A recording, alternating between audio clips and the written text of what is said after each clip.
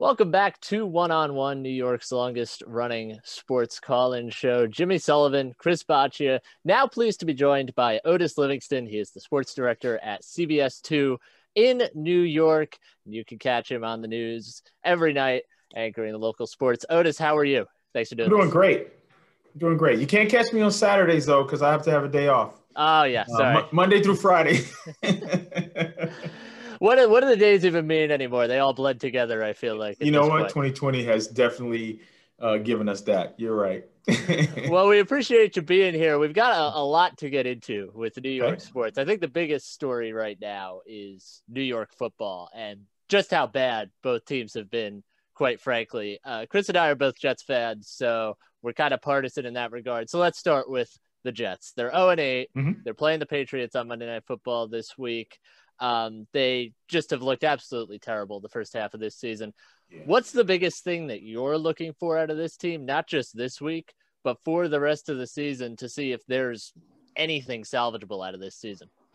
Wow, what am I looking for? I mean, I'm looking for competitiveness, man. I mean, they can put together a half sometimes and then not come out of the uh, the halftime break uh, inspired. You know, they can't sustain drives.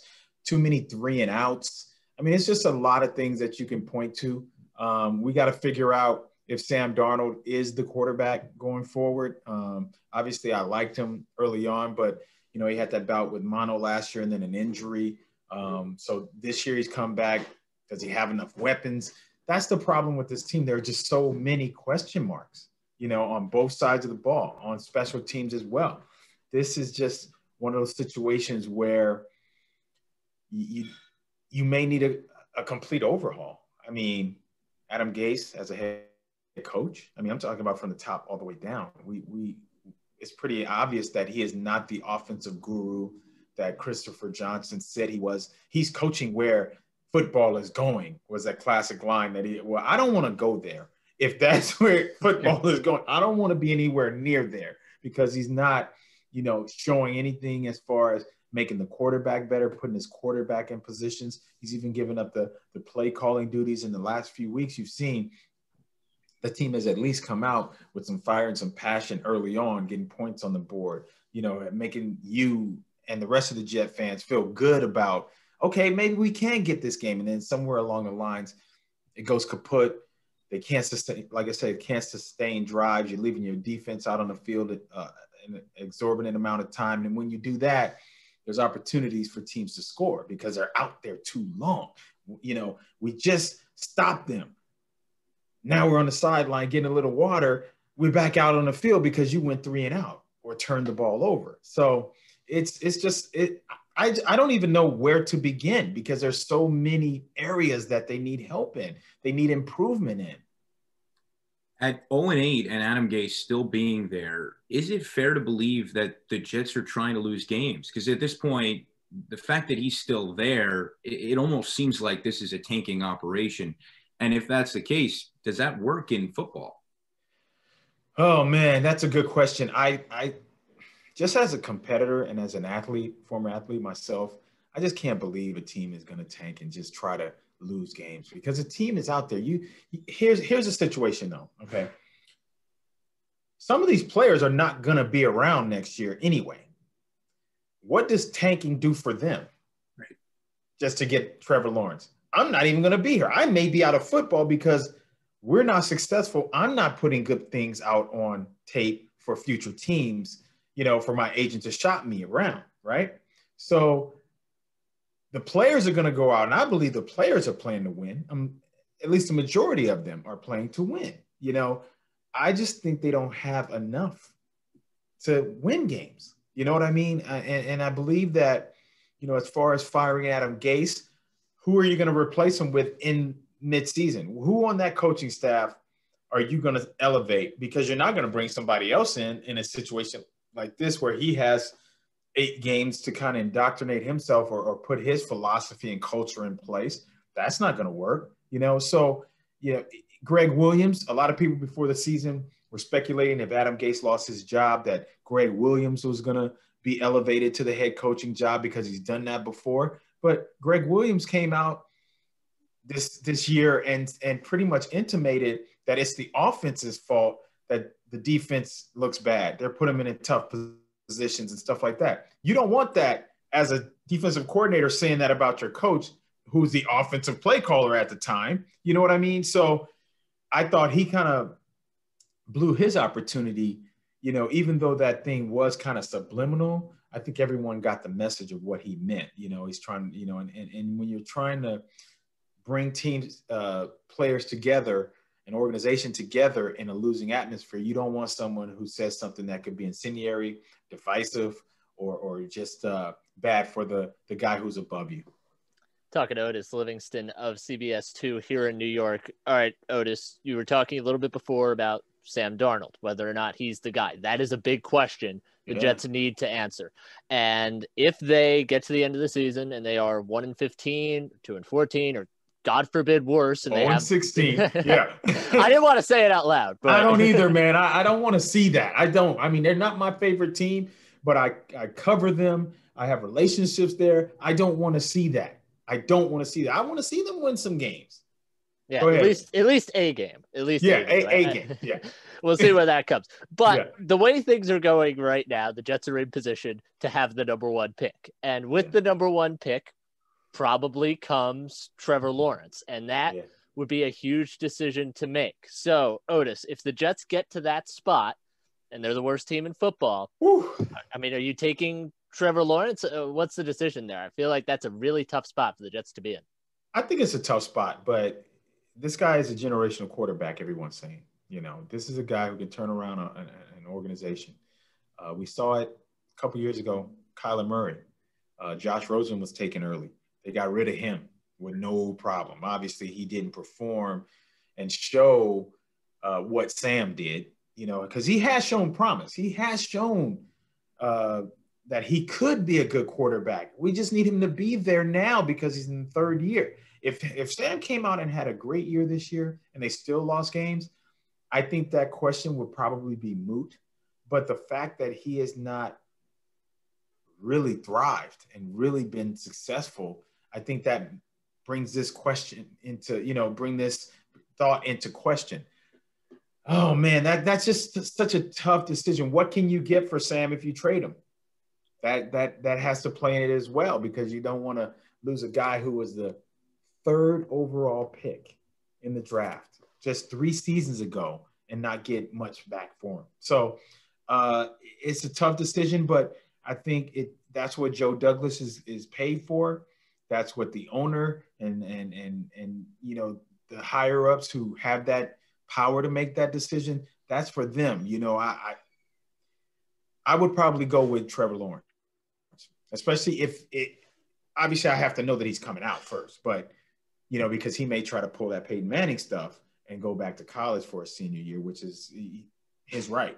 But if I knew he was coming out and I knew he was available, can you imagine if he turns out to be like a great quarterback and you passed on him because you wanted to hold on to Sam? You know what I mean? The Jet fans would never forgive the front office for that. I think we have to imagine that a change will come at head coach when the year is over. But then I think a, question that a lot of Jets fans have is can they trust the general manager? Because this is really not Joe Douglas's team, or at least this is a lot of holdovers from Mike Maccagnan, including right. Sam Darnold. Yeah. So, what's your take on Joe Douglas? Is this a guy who can kind of you see him stripping it all down now, but can he build it back up? Well, I mean, he came from a, a, a, pretty successful organization in Philadelphia.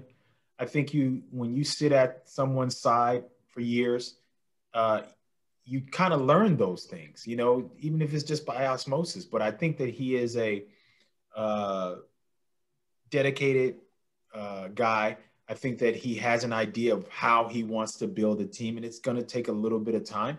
They have, they have a number of draft picks this year. Um, I mean, I, I, believe in him. I think that he could probably make turn this thing around, you know, given some time. Um, obviously, players have to play too. You know, we've seen guys that have have have, have made teams that are supposed to be really good and, and and players have underperformed. So I believe in Joe Douglas. I think given that time, given that power, which he has, and, and like you said, he's stripping it down. Um, I think that he'll be able to make those decisions that put the players in the right decision, uh, right position. Now, the next head coach, that's another step that he has to be successful in. They can't have this kind of a miss, you know, because this is historically bad what's going on right now in these past two years. I mean, they gave you reason to think that at the end of last year, they gave you reason to think that this year could possibly be something. And now we see what it is. There's just it, it the players aren't there. The the execution at the right time. They just seem overmatched, man. I mean, if I if I'm not mistaken, the, they, have the fewest they I mean they've had a, a, like an eight point loss. Most of their losses during the Adam Gase era is by two three possessions. I mean this is ridiculous. 24 nothing to Miami. I mean getting blown out. What was what was the score last week to the to the Kansas City? I mean it's just, it's just horrible. Half and half. You know playing for a quarter looking good and then the rest of the game you don't even consider that they'll be in it. You know it, it's just it's historically bad. They have to get a good head coach in here. They have to establish some kind of culture, the Jet way, whatever that is going to be. And I, I, I trust Joe Douglas. I think that he has the wherewithal. I think he has the knowledge to be able to turn this thing around as far as making some of the good decisions that it takes. And then the players, it's up to them. Otis, you were talking about the Jets' lack of competitiveness, getting blown out in a lot of games. I feel like that is a contrast to what we have seen out of the New York Giants, who, even though they are one and seven, have played a lot of close games. How encouraged are you by the fact that even though they have lost almost 90% of their games so far this year, that most of them have been close and they've had chances to win? I think you have to be encouraged. I think you have to be encouraged by the fact that they fight, that they compete, that they uh, come down to, you know, the last couple possessions and with an opportunity. Where you have to be discouraged is at the quarterback position, though, because if you think about it, those mistakes that are that that he's making, Daniel Jones, have cost them games.